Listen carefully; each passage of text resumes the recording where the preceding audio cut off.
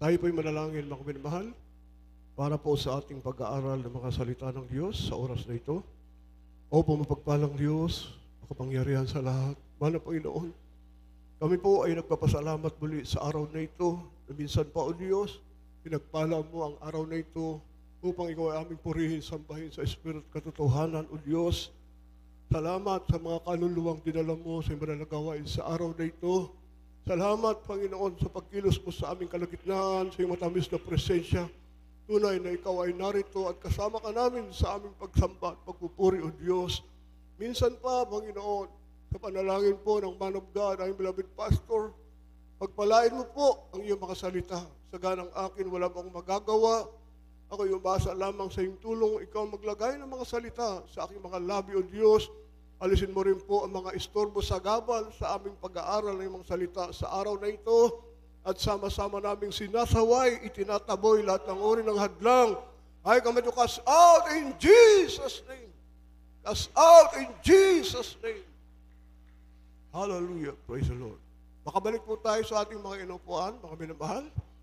At ako po ay nagpapaabot po ng pagbati, una't sigit sa lahat, sa ating dakila at pinakamamahal na Panginoong Kristo. Sa Kanya lamang po ang lahat ng kapurihan, ang karangalan, ang pagpupuri, ang pagsamba, pagdadakila ay para lamang po sa ating dakilang Diyos. Bigay po natin mga kapatid, isang gising buhay. Malakas na palakpak para po sa ating Diyos na buhay. Lahat po tayo sumigaw, Hallelujah! Praise the Lord! Purihin ang ating dakilang Diyos at pinaabot ko rin po ang pagbati sa ating minamahal at iginagalang ng mga magulang sa Panginoon, ating beloved Honorable Evangelist, Weldy Estrada Almeda, ating buting pastor, ang man of God, ang propeta ng Diyos na kanyang pinili, tinawag at sinirang upang pamuluan po ang napakalawak, napakalago, walang katulad at walang kaparis na gawain ng Diyos, ang Jesus Miracle Crusade International Ministry. Ganon din po sa ating beloved Honorable Stone Pastor, beloved Mama Dear, Lina C. Almeda, at ganoon din po na hindi po natin makakalimutan ang kanyang mga iniwan na mga turo, pangangaral po sa atin, at yan po ay patuloy po nating isa sa buhay lahat ng ating mga natutunan na mga aral mula sa ating beloved Aston Pastor. Kaya sa araw na ito, ating pong pinabot po ang dobleng pagrespeto at paggalang sa ating minamahal na mga magulang sa Panginoon, kasama na rin po ng kanilang mga beloved children, manukang katapo. Binabati din natin ang ating po mga beloved co-preacher, mga kapwa ko kamanggagawa sa lugar po na ito, na pangunguna po ng ating beloved ordained preacher, beloved Baradel de Torre, sa kanyang pamilya, sa kanyang mga katuwang ng mga beloved workers sa gawain pong ito ng Baralagaw ng Panginoon. Sa ating po mga beloved preacher na narito, sa lahat po ng ating mga bisita na narito, kayo po ay pinagpala ng Diyos, na kayo po ay narito, puri ng ating dakilang Diyos, sa lahat po ng mga minamahal naming matatapat na mga kapatiran, dito po sa banal na gawain, sa Rosario, Batangas, at lahat ng kapurihan, ang karangalan, pagpupuri, pagsamba, ay para lamang po sa ating dakilang Diyos. Bigay po natin mga kapatid, muli, palakpakan natin ang ating mahal na Panginoon. At sa araw na ito mga kapatid, para po sa mga baguhan, sa lahat po ng ating mga minamahal na mga kapatiran, dito po, sa lugar po ng Batangas, ang ating pong pag-aaral mga kapatid ay pagpapatunay na ang gawain pong ito ng Jesus Miracle Crusade International Ministry ay gawain ng Diyos. Hindi po ito gawain ng tao, mga minamahal. Hindi po.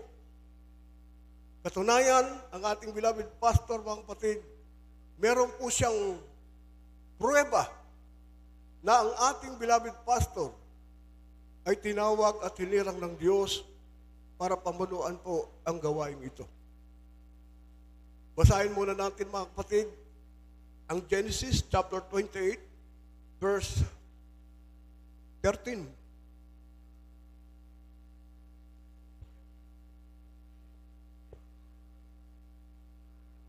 Sa verse 12 po tayo, sa verse 12. Genesis chapter 28, verse 12.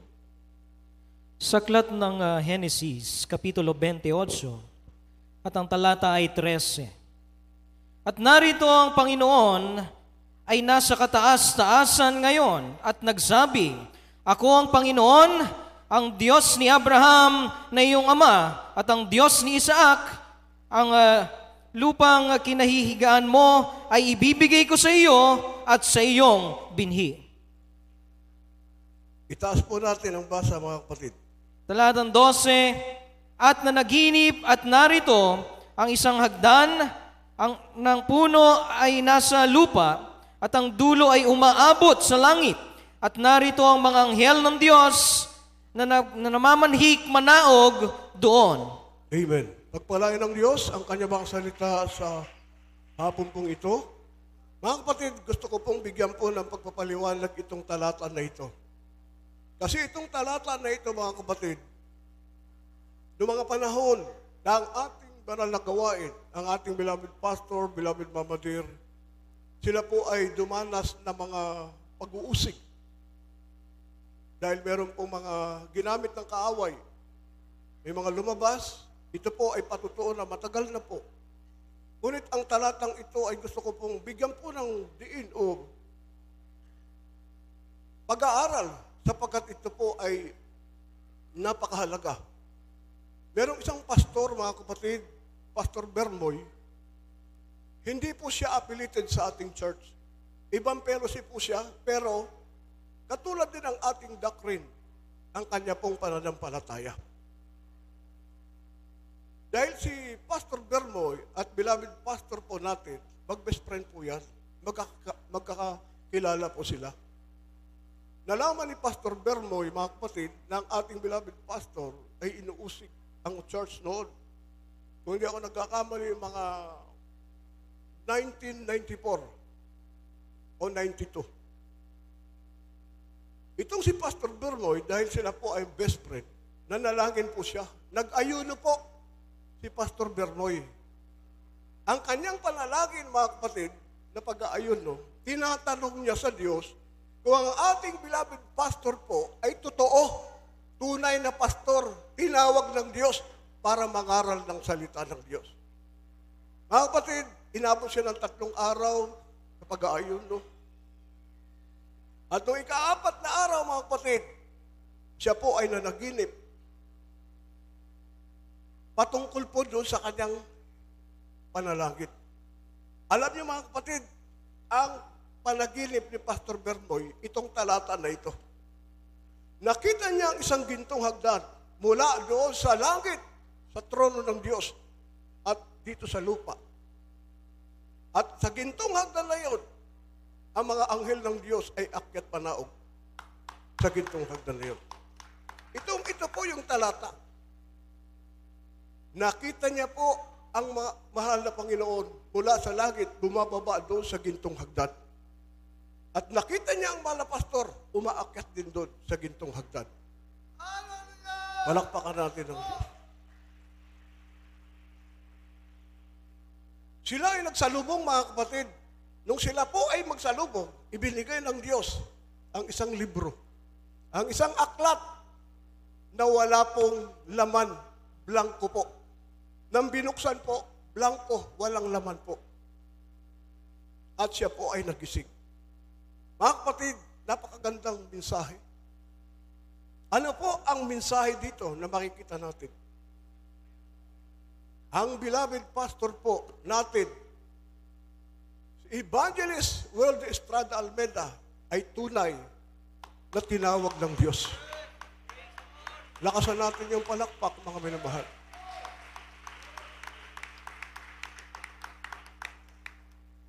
Ang ating beloved pastor ay binigyan ng tungkulin dahil yung pag-abot ng Panginoon, yun po yung authority, kapangyarihan. Binigyan ng mandate, tungkulin, trabaho, ang ating beloved pastor para mangaral ng salita ng Diyos. Kaya yung libro na yan, mga kapatid, ang ibig sabihin yun, yung salita ng Diyos, ibinigay sa mahal na pastor para mangaral ng salita ng Diyos. At ano pa ang mensaheng makukuha natin? Yung libro na yun, mga kapatid, dahil blanco, lahat ng maniniwala, lahat ng maliligtas sa pangangaral ng mga pastor, mga kaluluwang madadala sa gawain ito, ang kanilang pangalan isusulat doon sa aklat ng buhay. Napakaliwanag po. Napakaganda na mensahe. Kaya nga blanco eh, walang laman eh. Dahil lahat ng maliniwala, lahat ng kaluluwa na maliligtas sa gawain ito, ang kanilang pangalan isusulat doon sa aklat na yun. Napakaliwanag po ng mensahe, mga kapatid. Ngayon, anong confirmation po, mga kapatid? Isang kapatid natin, sa amin, na naginip siya, umakyat siya sa langit. Umakyat na siya sa langit, pagdating sa langit, tumambad sa kanya ang isang maputi na pintuan at nakabantay doon ang anghel. Ang sabi ng anghel, huwag ka munang pumasok. Titignan ko yung pangalan mo dito sa aklat ng buhay. Mga kapatid, hindi ka makakapasok sa langit pag wala ang pangalan mo doon. Dahil ang makakapasok lang sa langit ay mga taong nakarehistro sa langit ang kanilang pangalan.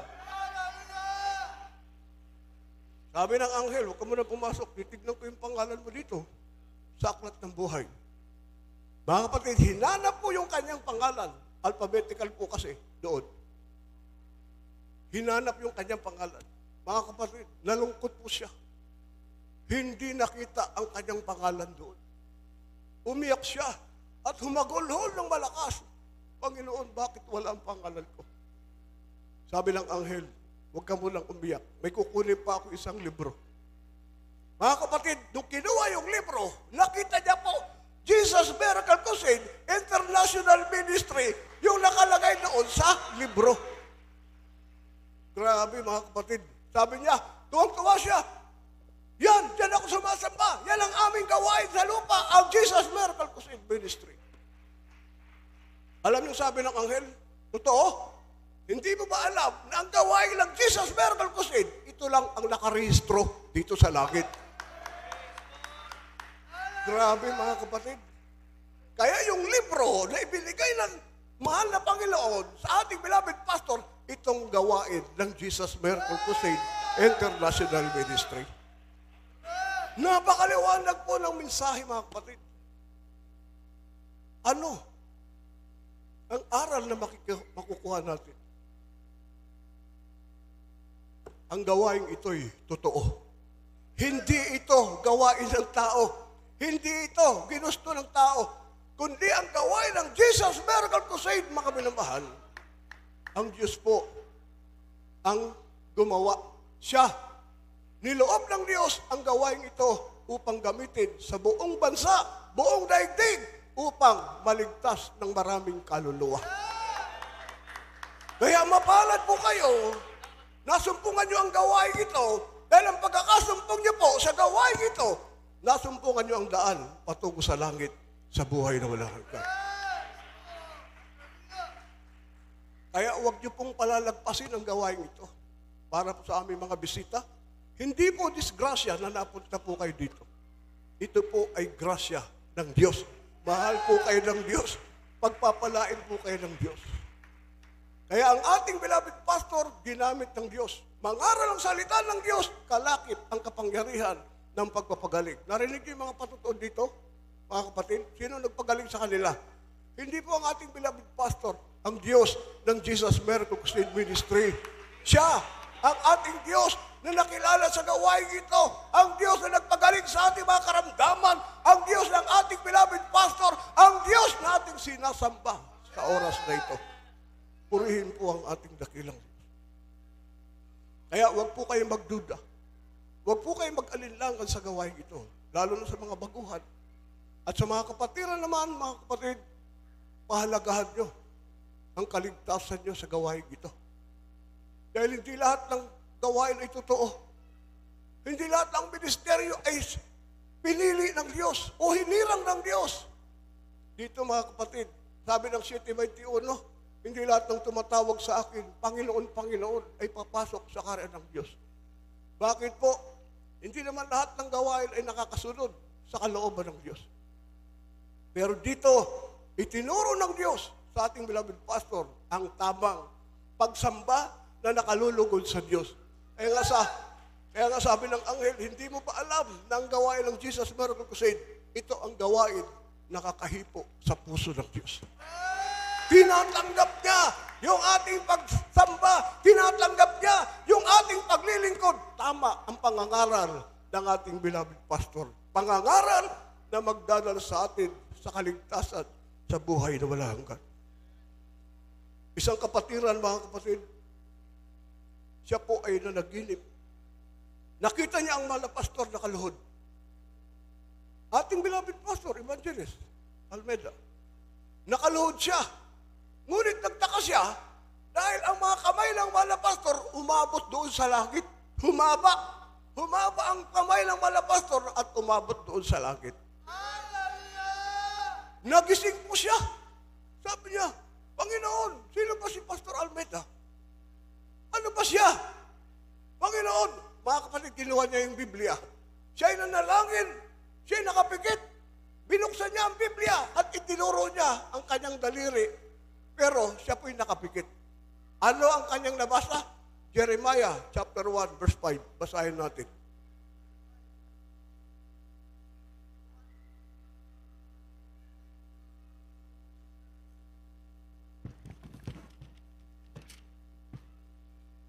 mula sa aklat ni Jeremias Kapitulo 1, versikulo 5. Bago kita inanyuhan sa sinapupunan, ay kilala na kita. Bago ka ipinanganak, ikaw ay aking itinalaga.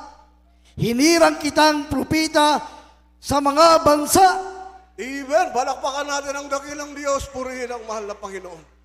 Ang ating beloved pastor pala, mga minamahal, hinilang ng Diyos.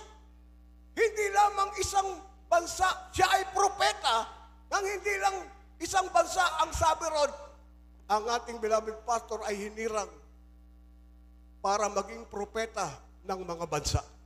Totoo po yan. Purihin ang ating dakilang Diyos. Kaya nga, maswerte tayo, mapalad tayo sa gawain ito dahil hindi na tayo makakasumpong ng ganitong gawain na nagtuturo ng buong-buong katotohanan na pag tayo po ay magpatuloy sa gawain ito, tiyak po ang kaligtasan mo. Purihin ang ating dakilang Diyos. Kaya para po sa aming mga bisita, pagkakataon niyo po, huwag niyong lilisan ang gawain ito na hindi niyo tanggapin ang Panginoon. Sayang po ang pagkakataon ito. Ngayon sinasabi ko po sa inyo na ang gawain ito hindi po gawain ng tao. Gawain po ito ng Diyos. Ang ating beloved pastor ay tinawag ng Diyos para mangaral ng salita ng Diyos. At lahat ng paniniwala at paliligtas sa gawain ito, ang kanilang pangalan isusulat doon sa aklat na yon na ibinigay ng Panginoon sa ating beloved pastor. At para sa atin namang mga kapatiran, mga kapatid, magpatuloy tayo sa gawain ito. Huwag ka nang tatalikod. Huwag ka nang aalis sa gawain ito sapagkat ang gawain ito ay tunay na tunay. Hindi ito gawain ng tao. Hindi ito gawain ng ating mga pastor. Gawain po ito ng Diyos. Purihin ang ating dakilang Diyos. Kaya napakapalad natin sa gawain ito sapagkat nasumpukan natin ang buong buong katotohanan. Ang ministeryo ng mga pastor, dito po tayo sa uling talata. 2 Timothy chapter 4, verse 5. Ito po, Bagaman ang ating beloved pastor, mga kapatid, tinalaga bilang propeta. Ito, isa sa mga kanyang katungkulan na ibinigay ng Panginoon. Habang sila mama, mga pastor, sila ay nagpupuri, nagkapuspusan mga minamahal. At ang mga pastor, binuksan ang Biblia at ito ang sinabi ng Diyos. 2 Timothy chapter 4 verse 5. Gawin mo ang iyong ministeryo, ang pagiging ibanghilista. Ikalawang Timoteo, kapit Ikalawang Timoteo, Kapitulo 4, talatay 5. Ngunit ikaw ay magpigil sa lahat ng mga bagay. Magtiis ka ng mga kahirapan. Gawin mo ang gawa ng ebanghelista. Ganipin mo ang iyong ministeryo. Amen. Ayan. Gawin mo ang iyong ministeryo. Kaya ang ating beloved pastor, mga kapatid, tinatawag siyang evangelist kasi iyon po ang kanyang calling. Iyon ang pagkakatawag ko sa kanya. Dati ang tawag sa kanya, pastor. Ngayon, mga kapatid, dahil sa bersikulo na ito, ang ating beloved pastor, tinawag ng Diyos bilang propeta ng mga bansa. At the same time, siya po evangelist. Puri ng dakilang Diyos. Ano ang trabaho ng evangelist? Mga kapatid, ano ang tungkulin ng evangelista? Pumunta sa mga lugar, magkrusada, magligtas ng maraming kaluluwa, magbukas ng mga gawain. Ito ang trabaho ng evangelista, palakasin ang mga mananampalataya. Kaya nga ang gawain ng Diyos, lumaganap hindi lamang sa Pilipinas hanggang iba yung dagat dahil yan po ang trabaho ng evangelista. Palakpakan natin ang ating mahal na Panginoon, mga kapatid. Mapalad tayo. Kaya magpatuloy tayo. Kahit gaano katindi ng mga problema, pagsubok sa buhay, huwag kang aalis dito dahil ito na ang tunay na gawain ng Diyos. Palakpakan natin ang ating mahal na Di ko na po kahabaan, mga minamahal, dahil mahaba na po. Kaya, mga kapatid, sana po ang ating pong narinig na mga mensahe, pahalagahan po natin. Magpatuloy po tayo sa gawain ito. Mapalad tayo sapagkat nasumpungan natin ang tunay na gawain ng Diyos. Jesus, Miracle Crusade International Ministry. Purihin ang ating dakilang Diyos. At bigay po natin ang lahat ng pagkakataon sa ating beloved brother preacher, beloved brother Sonny Fernandez. Amen. Mga kapatid, tayo po ay makinig para po sa ating mga baguhan.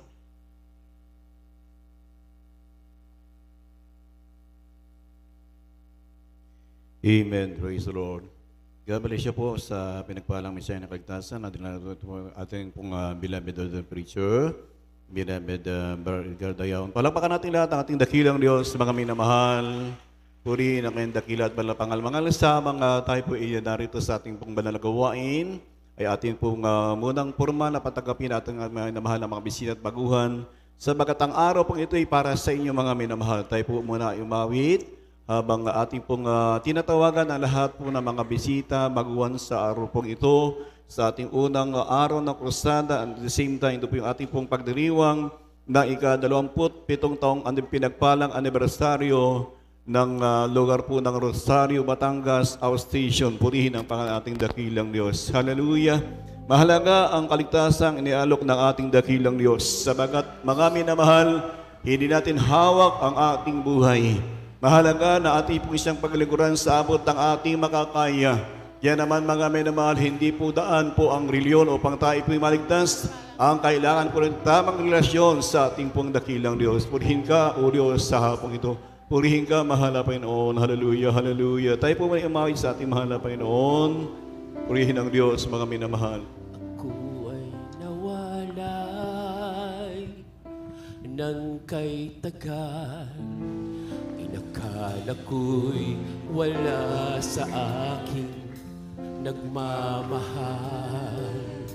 Nagkamali ako Pagkat nandyan ang pag-ibig mong tapat Di nang iiwan. Ikaw ang Diyos na kaibigan Pag-ibig mo'y walang hanggan. Pag-gising sa umaga Sa lahat na rin ng mga bisita, magbuhang namin po sa labas, lumayo po kayo sa batang harapan. upang tangapin ang ating dakilang Diyos. Ito po ang inyong oras sa mga minamahal. Hallelujah!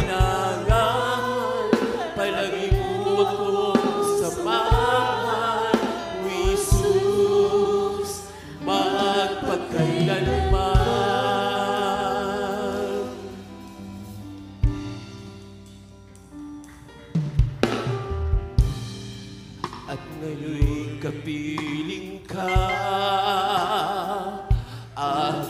Ama Hindi nahahayaan pa Sa'yo ay mawalay.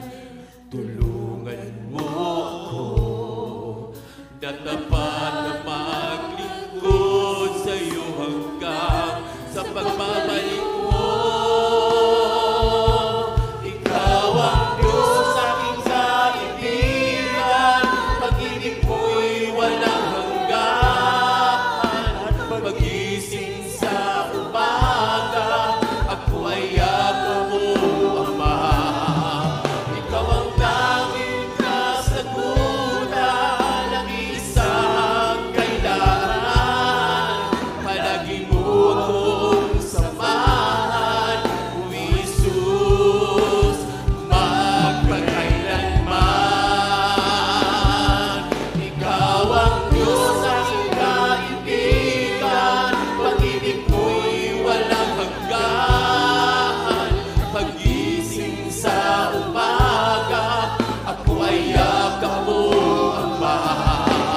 mga baguhan, rumabay po kayo mga minamahal. Hallelujah. Nag-isa kailangan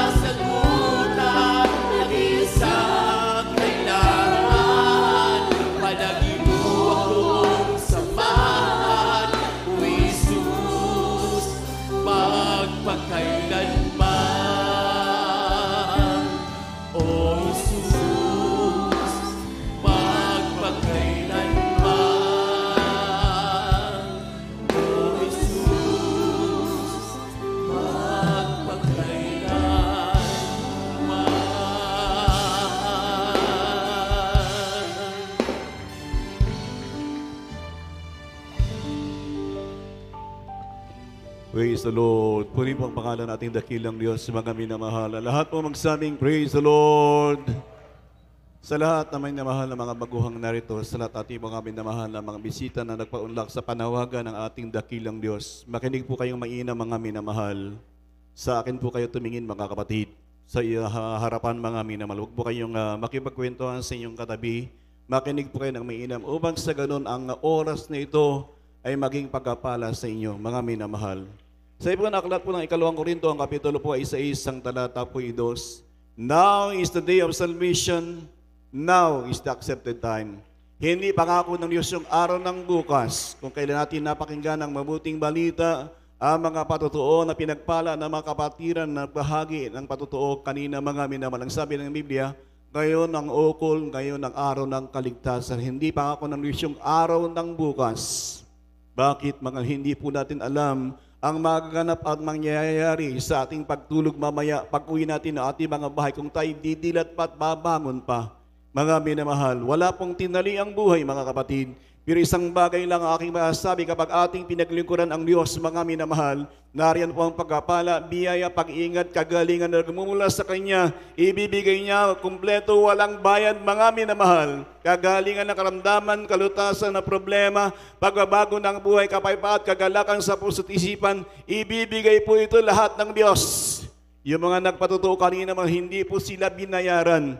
Personal po nilang buhay yun mga kapatid magmula nung sila naniwala at nanampalataya sa mabuting balita na dinadala ng Jesus Miracle Crusade International Ministry na pinakuna po natin minamahal ginagalang pastor Will Estrada Almeida ang propeta sa ating po huling kapanahunan nagtamasa sila ng mga biyaya at pagkapala. Bakit?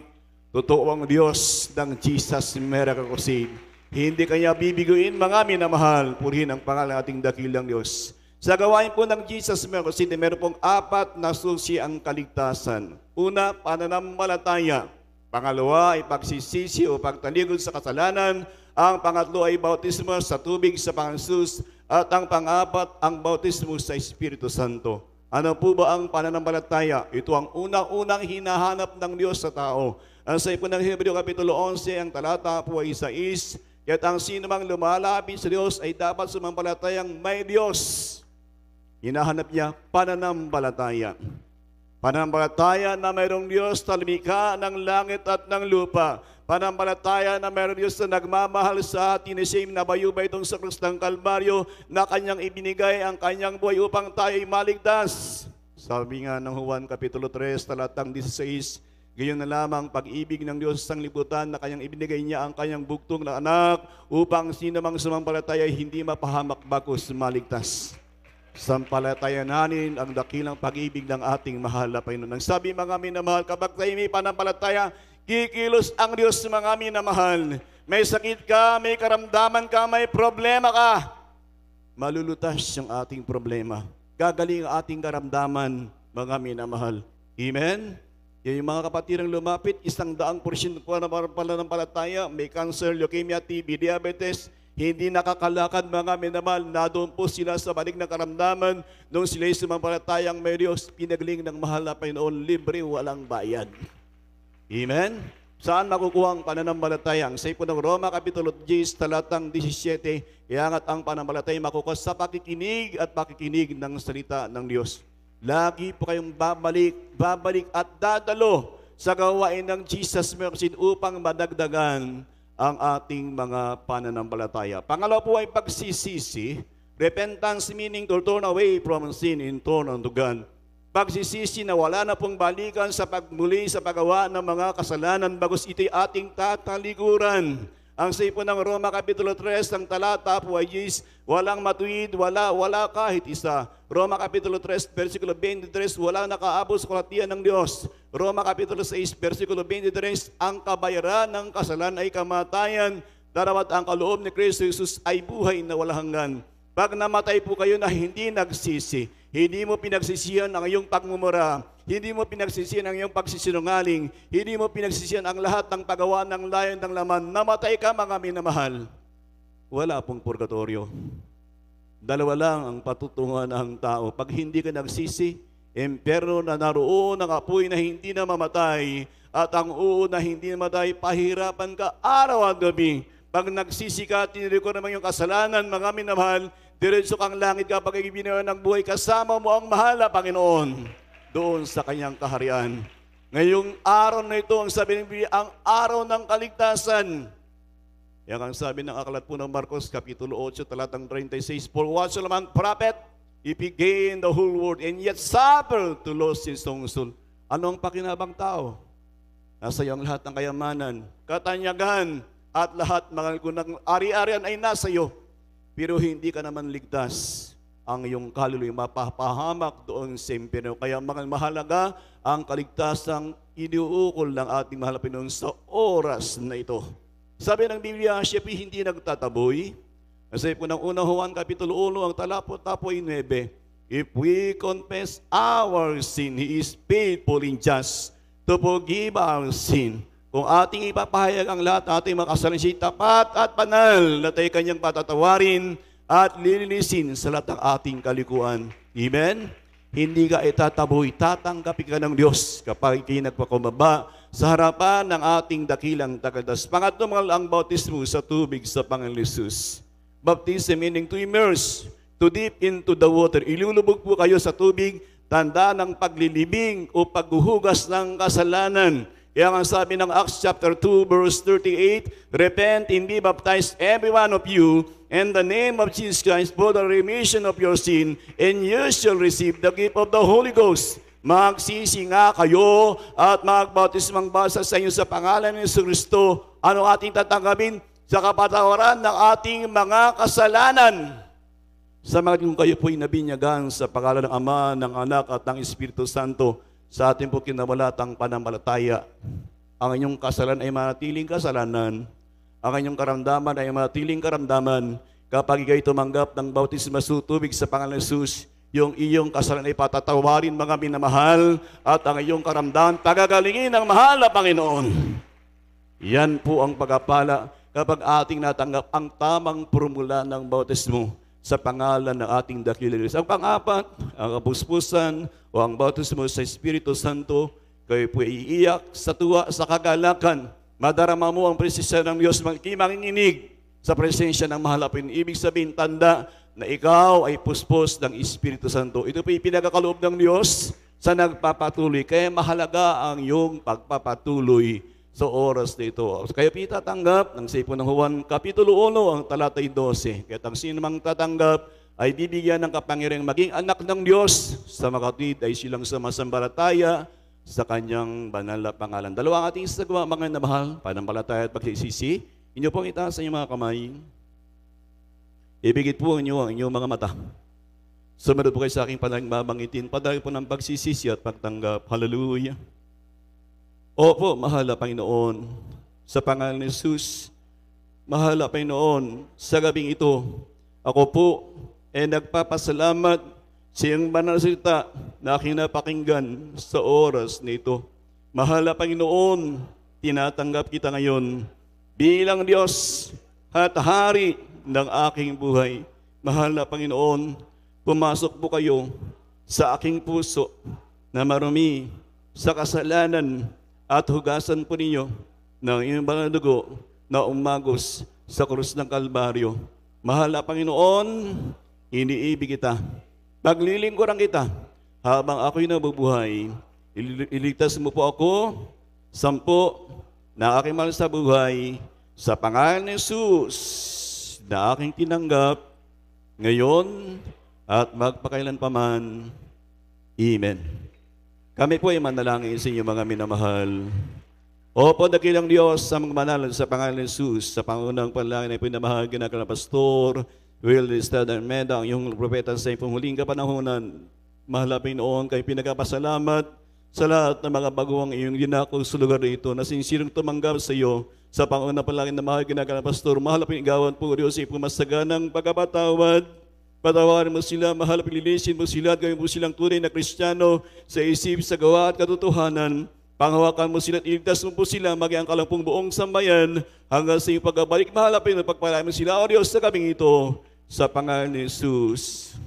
Amen and amen. Praise the Lord. Puri bang ating dakilang Diyos, mga minamahal. Dalawa na po ang ating naisagawa, pananampalataya at pagsisisi.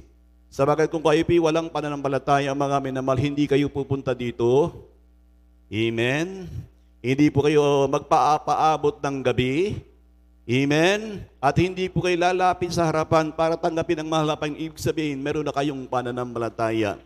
Amen. Nagsisi na tayo mga minamahal. Ang kulang na lang po yung bautismo sa tubig sa pangalan ni Jesus. Ito po yung libre, walang bayad. Hindi po para maging membro, kundi para yung ating mga kasaling mapatawad ng Diyos at doon gagaling ang ating mga karamdaman. Nakita natin yung mga nagpatotoo kanina, mga minamahal, mga dati nating nakasaklay, bedridden, yung nagpatotoo kaninang pangatlo, Bilad Brother Ramil Sibok. Walo ang kanyang karamdaman. Ang sabi niya sa kanyang uh, kapagdaraan at uh, darating na po yung magsusundo ng uh, mga kapatiran. Ang sabi niya doon sa driver, wala yung aking uh, mahal na ina. Amen. Pero dumating ang time mga ko na siya mismo nagkaroon ng karamdaman na halos sinukuan na po niya mga ko yung lahat, mga ko nang uh, ibinibigay sa kanyang medisina. Parang gusto niyang tapusin yung kanyang buhay. Pero napakabuti ng Diyos. Amen? Bakit? Nung siya naniwala, nanampalataya, nagpapatilis mo sa tubig sa pangalan Jesus, ngayon, kompleto ng pinagaling ng mahal na Panginoon.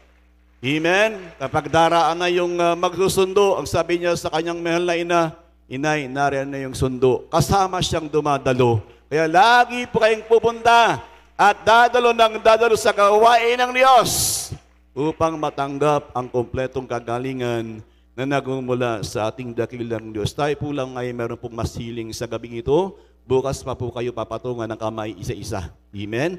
At tayo pidara sa ating pong masiling mga minamahal.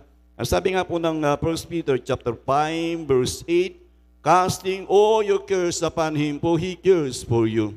Lahat ng ating pasanin ay atin daw pong ipagkatiwala at ilagak sa mahal na Panginoon. Meron kayong cancer, leukemia, TB, diabetes, sakit sa puso, leukemia, mga minamahal. Meron kayong lagnat, ubo, diabetes, lagnat, mga inyo pong ipagkatiwala sa mahal na Panginoon. May problema po kayong mga minamahal. Amen. Meron po kayong kahirapan sa buhay, ating ipagkatiwala sa ating dakilang Diyos na lumikha ng langit at ng lupa. Tayo po natin manalangin. Ating pong isama sa panalangin, ating po na mga ginagawa ng Pastor Dohol Beloved Almeta, mga mili, lahat po ng mga kapatiran, baguhang narito, tayo po natin magkaisang manalangin. Hallelujah. Opo, nakilang Diyos, sa mga manal, sa pangalan ni Jesus, mahal na Panginoon, sa oras na kayo pipatuloy sa masamang dumudulog, sa ipong banat ng biyaya, sa pangunang palangin na mahagi na kang Pastor Ustad Almenda, Ayong propeta sa ipong huling kapanahonan sa kami nakulat ng kamali ng sumbungan sa tayo pong taglay na kayo na at pagkukulang. Kabangan po at patawang basahin nato kami upang idulog minsan na pa ang lahat ay po makahilingan, especially ang patuloy po na kalakasan, mahabang buhay na po inamahag na ng pastor ng kalapong buong sambayan upang patuloy po na panguna at pangalagayin pong pinagpala at napakalawak na gawain. Lahat po na makautirang na ito maging sa mga buguhan na nagtitiwala at ikalang pong ibinibigay ang lahat ng kalampasanin sa iyo. Mahal Pinoon, maghimala ka sa kalang buhay. Tagalin po ka lang mga karamdaman, dutasin ng mga problema, bigyan ng pagkapalang material, pinansyal, ligid sa pagkapalang espiritual. Bless everyone, O God, Father, according to thy promise, O Lord. In Jesus' name we pray. Amen and amen. Praise the Lord. Hallelujah, hallelujah. Mga minamahal, ating pong ipatong ating kauliwang kamay sa ating ulo. Kanang kamay sa bagat pati ating taglay na karamdaman. Isipin natin na pa ang mga kamay pa at ating pong delibilan pastor na kapatong sa ating mga ulo. Ano mga ating karamdaman sa ating katawan, ating sawayin sa Pangalan Jesus, cancer, leukemia, TB, diabetes, sakit sa puso, sakit sa lapay, sakit sa balat, AIDS, mga minamahal, ketong ating sawayin sa Pangalan Jesus. Kung kayo po mga minamahal ko ay meron pong ah, bisyo, nagmamura, sinungaling nag-alig sa buadik, mga namalbakla o tumboy, mahirap ay inyong buhay, mga inyo pong itaas ang dalawang kamay. Sa mga kapatid kayo pinalupaypay at ang lalamig niyo pong itaas ang ah, ating ipatong ang ating dalawang kamay sa ating mga ulo, ating so hindi palamig, panlupaypay, lumayas sa akin sa pangalan Jesus. Tayo po lahat tayo kaisang manalangin.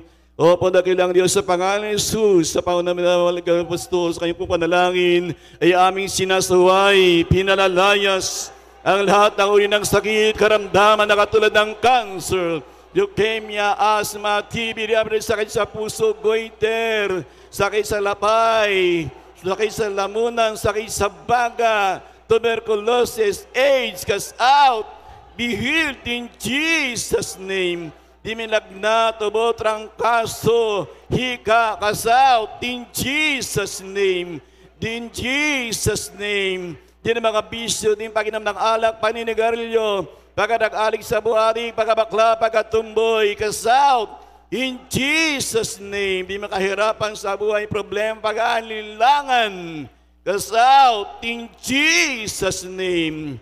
Give us so complete healing and deliverance. In Jesus' mighty name. Amen and amen. Praise the Lord. Puri po ating dakilang Diyos, mga minamahal. Purihin ang ating malapit at bilang uh, as a token of praise to our loving God. Mga tayo po isisigaw, lulundag tatlong beses. Hallelujah, praise. Huwag po tayong mahiya. Dahil ang hallelujah, ito po ay makapangyarihan upang tatakas po ng milya-milya at hindi po babalik yung ating mga karamdaman, yung ating mga bisyo, yung ating mga kahinaan. Ang sabi nga ng Revelation chapter 19 verse 1, Hallelujah, meaning salvation, kaligtasan, power, kapangyarihan, glory, kalatian, honor, karangalan, ay tanging sa Diyos lamang. Tatlong beses mga kami naman, Hallelujah! Praise the Lord! Hallelujah! Praise the Lord! Hallelujah! Praise the Lord! Hallelujah! Praise the Lord! Palakpakan natin lahat ang ating dakilang Diyos. Purihin ang dakila at banal na pangalan ng ating mahal. Sumampalataya po tayong lahat na tayo pinagpala na po ng ating dakilang Diyos na buhay.